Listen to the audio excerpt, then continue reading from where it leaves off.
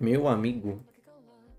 É o que eu falei, velho. Ficar sentado o dia inteiro no, no pau é difícil, velho.